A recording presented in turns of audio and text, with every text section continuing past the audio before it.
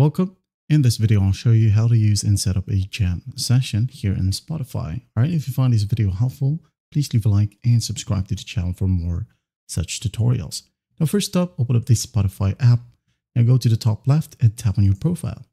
Now tap on settings and privacy.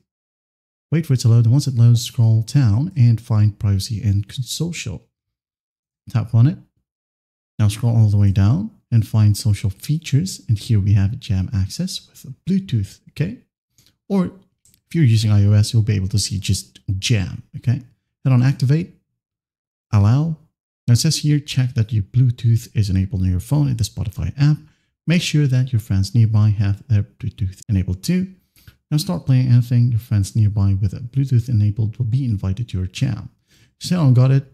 Now make sure that Bluetooth is uh, enabled or turned on. All right, connect with your friends right here. And once done, just hit on the done button. And again, make sure that your friends nearby have their Bluetooth enabled as well. Make sure that you're connected.